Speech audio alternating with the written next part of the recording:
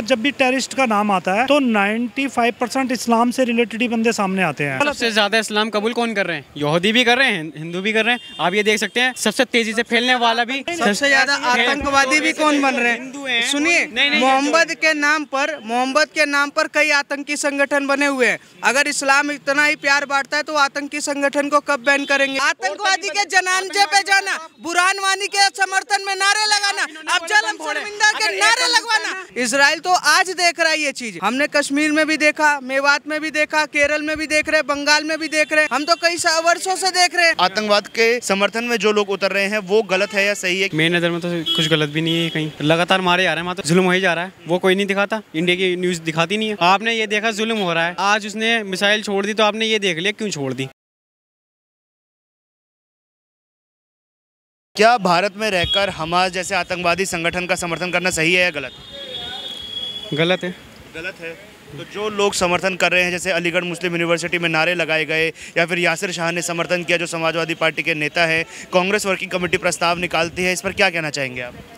कांग्रेस तो मेरी नज़र में तो सही करती है जो बीजेपी है बीजेपी अभी ये कहती है हम एक वो निकालते हैं रैली ठीक है? रैली निकालती है तो वहाँ रैली निकलती दंगे क्यों होते हैं?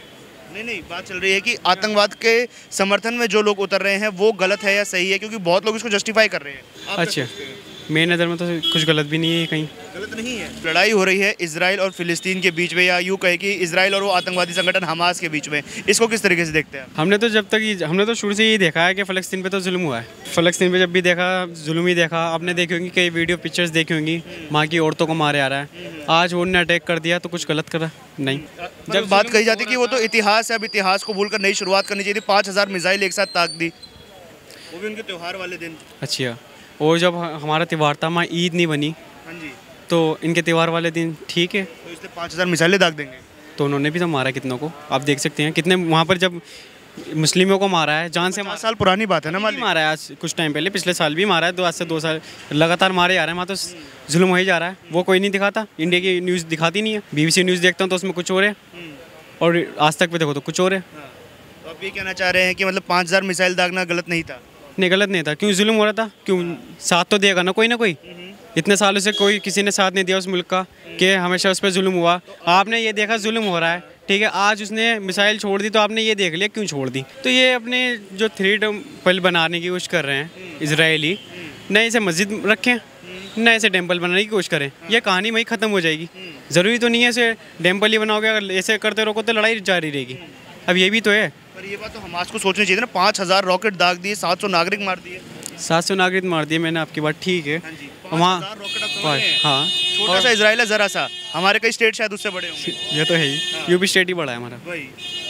असल में देखो मेरी नज़र में उन्होंने इतना जुल्म करा उन्होंने त्यौहार वाले दिन काफ़ी मुस्लिमों को मारा ईद पे रमज़ान पे शरब बारात आती हैं बहुत आते हैं ऐसे त्यौहार ठीक है? उनके साथ जुल्म हुआ और उसने अटैक कर दिया मुस्लिम अब मुसलमान है पक्ष में आ गया। तो उसने भी कुछ कहीं ना कहीं गलत नहीं करा। कि ये होता है एक मीटिंग बिठाई जाती है कॉन्फ्रेंस के उसमें ये बताया जाता कि कि उसमें मेरा क्वेश्चन था। कि उसमें बताया उसमें ये चीज़ करी जाती ये चीज़ ना थ्री टेंपल बनेगा ना या कोई मस्जिद चलेगी।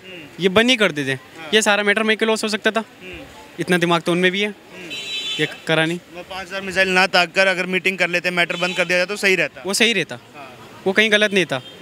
कि वो ना मस्जिद रहती ठीक है, ना उस पर लड़ाई रहती, ना वो थ्री टेंपल रहता, ना ईसाइयों को रहता, कुछ मैटर इसमें किसी की कोई टेंशन नहीं रहती। देखिए, ऐसा है कि ये सारी चीज़ डिपेंड करती है, जैसे कि मानसिकता क्या है। हम जैसे जो धर्म होता है ना, वो धर्म किस मानसिकता की तरफ़ लेके जा रहा है।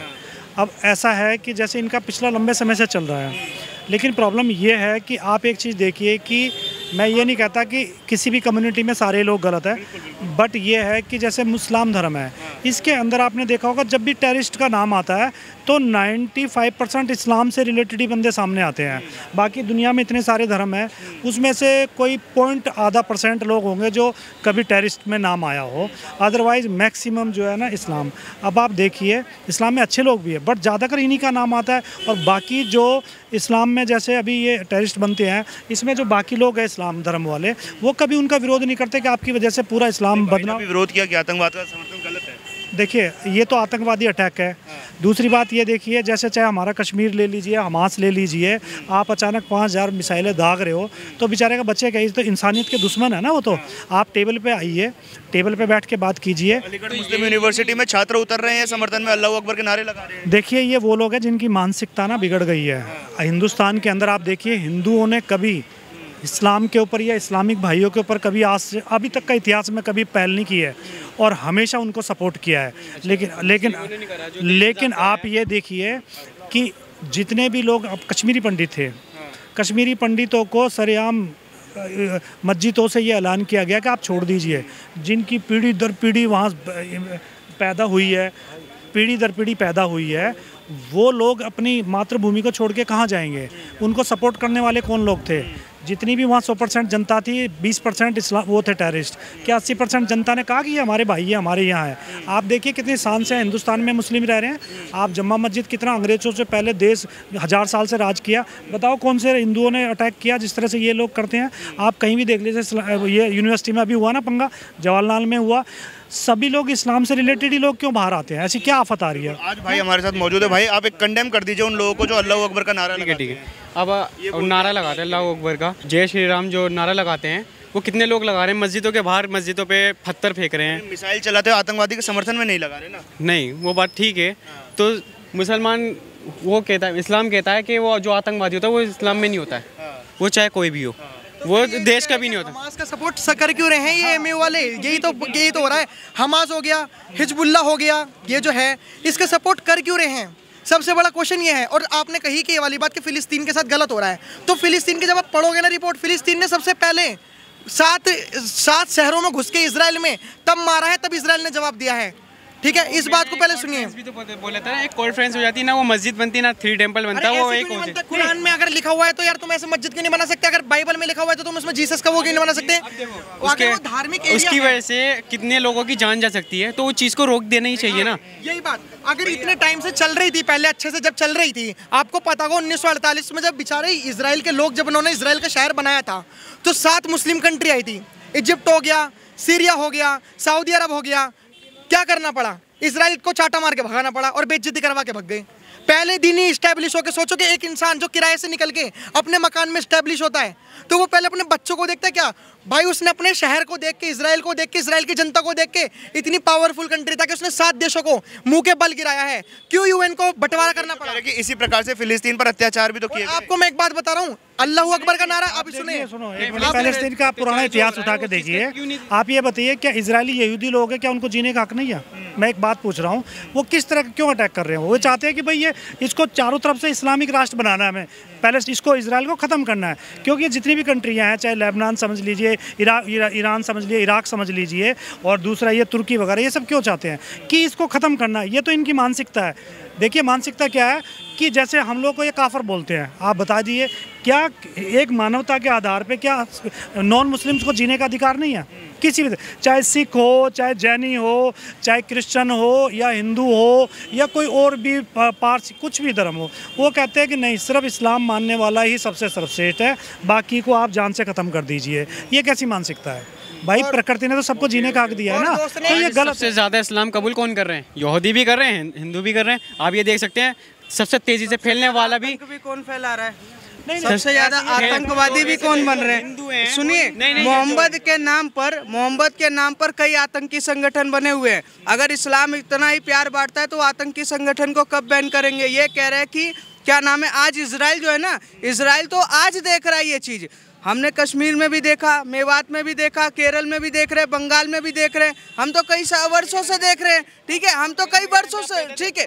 कई वर्षों से हम इतिहास पढ़ रहे हैं कि अगर सीधा सीधा इनका सीधा एजेंडा इनका सीधा सीधा एजेंडा है कि काफिर देखा मैं क्या हुआ? काफिर का मतलब क्या होता है? काफिर का मतलब क्या होता है? काफिर का क्या मतलब होता है? बोलते हैं कि हाँ। हम आ जा रहे हैं कि ना वो निकल रही है एक रैली निकलती है हिंदुओं की। तो वहाँ जहाँ हो? रैली निकल रही है? वहाँ लड़ाई क्यों हो रही है? ये भाई, विरोध है, इकबाल को हो? क्यों मारा? इकबाल को क्यों मारा? कि उन्होंने जय श्री राम नहीं बोला इसलिए मारा? जय श्री राम नहीं बोला इसलिए मारा उसे? इजराइल का- एक इजराइल का विरोध क्यों कर रहे हो? भारत का प्रधानमंत्री 140 करोड़ का देश का प्रधानमंत्री कहता है। बोले कि कन्हैया लाल को क्यों मारा? तो मैं इस बात का जवाब पूछ सकता हूँ। कन्हैया लाल को क्यों मारा? अगर इस देश में संविधान है संविधान को मानते हो आप तो नूपुर शर्मा के लिए सरतन से जुदा के नारे क्यों लगाए? उससे तो सर क्या कहते हैं सजा कोर्ट देता। हाँ उसे तो सजा कोर्ट देता। कोर्ट ने सजा दी। कोर्ट सजा देता ना। नहीं दी।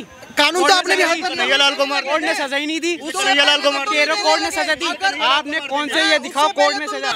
आपको पक्का पता था मुस्लिम ने काटी है? अरे भाई वीडियो बना ए, के बोला आपको पक्का यार। पता था। ये देखो एजेंडा देखो। वीडियो बना के वो बंदा कह रहा कि ये तलवार प्रधानमंत्री मोदी जी तक पहुंचेगा। आप कहते हैं आप कह सकते हैं आप कह सकते आप कह सकते हैं चलिए मुसलमान ने नहीं मारा। मुंबई में याकूब मेमन का जब जनाजा निकाला गया उसमें दो लाख मुसलमान सम्मिलित थे। आतंकवादी के जनाजे में दो लाख मुसलमान मुंबई में आए हुए थे। अल्लाह अकबर के नारे लगाए जाते ये तो गलत बात नहीं नहीं एक चीज़ ठीक है गलत बात थी। ओके मैंने माना। ठीक है एक चीज़ मुझे बताइए वो हिंदू औरतें बुरखे में क्यों जा रही हैं? इस्लाम को क्यों बदनाम कर रही है। मैंने खुद देखा है कितनी वीडियो वायरल हो रही है, है। कितनी यूट्यूब पे वगैरह यूनिवर्सिटी मैं दिखाता हूँ शाहीन बाग में कितने प्रेगनेंट हुए हैं वो पूरा देश जानता है। ठीक है ये जो कह रहे हैं कितने लोगों ने बुरखे पहन के सड़कों पे बम फोड़े वो पूरा देश जानता है। ठीक है फोड़ते पूरा हैं वर्ल्ड जानता है।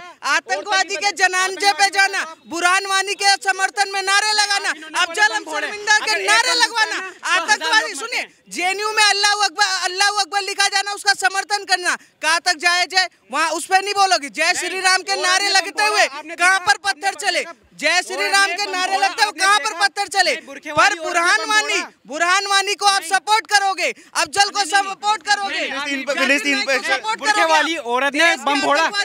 नहीं बुर- जैसे ये भाई अ, सही बोल रहे हैं लेकिन अगर ये भाई जितना जोश में बोल रहे हैं ना अगर इतना ही जोश में अगर आतंकवाद के खिलाफ बोलते हैं तो शायद हमारा देश भी कहाँ हूँ। अगर आप आतंकवाद के खिलाफ हो तो आप अतिक अहमद का सपोर्ट क्यों करते हो? क्यों बोला बुरखे वाली औरतें बम फोड़ नहीं है बम फोड़ दी हैं? तो तुमने तुम तुम दिखाओ। तुम मुझे दिखाओ कि बुरखे वाली झूठ बोल रहा है देख लो। कैमरे पे झूठ बोल रहा है ये बंदा एजेंडा चला रहा है। है बम रहे हैं कि आपने देखा नहीं अभी आप जैसे कह रहे थे कि फिलिस्तीन पर अत्याचार हुए आपने देखे? हाँ मैंने यूट्यूब पे वीडियो आती रहती थी रील्स वगैरह पे हमने देखे। तुम गए थे? तुम गए थे तुम गए थे? तुम गए थे? सुनो तुम? इजराइल भारत का समर्थक है। जिस जन्मभूमि हमारे पे रहते हो मीडिया कितनी बिकाऊ है सुनो। और हमारे देश की मीडिया कितनी गंदी है कि हमारे देश में फिलिस्तीन की बर्बादी को दिखाया जा रहा है। वहाँ की लड़ाइयों को दिखाया जा रहा है फिलिस्तीन की लड़ाइयों को। सोचिए हमारे देश का मीडिया कितने हद तक गिर चुका। अभी ये लोग सवाल उठाएँगे कि तुम इसराइल इसराइल इसराइल क्यों दिखा रहे हो? लेकिन कोई इस बात पर सवाल नहीं उठाएगा कि तुम फिलिस्तीन को क्यों दिखा रहे हो। हमारा देश कितना मीडिया गिर चुका है। अभी आप मैंने एनडीटीवी पे भी देखा था बीबीसी पे भी देखा था अल जजीरा पे भी देखा था दवायर वायर पे भी देखा था। हमारे देश के जो पीड़ित लोग हैं उन्हें नहीं दिखाएँगे। हमारे देश का जिनका शोषण हो रहा है उन्हें नहीं दिखाएँगे। लेकिन फिलिस्तीन को दिखाएँगे। पर यहाँ पर भी बहुत लोग हैं ना जो वहाँ के समर्थन में नज़र आ रहे हैं, हमास का समर्थन करते नज़र आ रहे हैं। मैं इस गार, बात, इस बात को मैं गारंटी के साथ दे रहा हूँ और बोल रहा हूँ और ये सबको पता है, जिस दिन भारत और पाकिस्तान का युद्ध हुआ, उस दिन कोई भी भार, कोई भी ये जो एएमयू के जितने भी छात्र और जेएनयू के जितने भी छात्र जो घूम रहे हैं ना, मार्च करते करते फिलिस्तीन के उसमें जब भारत और पाकिस्तान का युद्ध हुआ, कोई भी भारत के साथ नहीं खड़ा होगा इन लोगों में से, जो चाहे अलीगढ़ मुस्लिम यूनिवर्सिटी हो, चाहे जवाहरलाल नेहरू यूनिवर्सिटी हो। बहुत बहुत धन्यवाद सभी लोगों का हमारे साथ जुड़ने के लिए। तो आज जनता के बीच आज हम मौजूद थे और लगातार इस मुद्दे पर जो चर्चा चल रही थी इसराइल को लेकर, फिलिस्तीन को लेकर तो दो गुट कहीं ना कहीं बनते हुए आ रहे एक ऐसा गुट भी है जो इसराइल में हो रही आतंकवादी गतिविधियों का समर्थन कर रहा है। मज़हब के नाम पर समर्थन होता हुआ नज़र आ रहा है। फिर चाहे वो समाजवादी पार्टी की तरफ़ से हो, कांग्रेस की तरफ़ से हो, या अलीगढ़ मुस्लिम यूनिवर्सिटी में किए जा रहे स्टूडेंट्स के द्वारा मार्च से हो। इस पूरे मुद्दे पर आप लोगों के क्या विचार है, ये आप हमें कमेंट बॉक्स के माध्यम से ज़रूर बताएँ। वीडियो जर्नलिस्ट प्रीत मिश्रा के साथ मैं आयुष शर्मा ओ न्यूज़ हिंदी।